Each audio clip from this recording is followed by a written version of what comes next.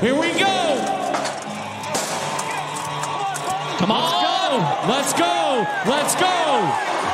Hello. Get up. Get away.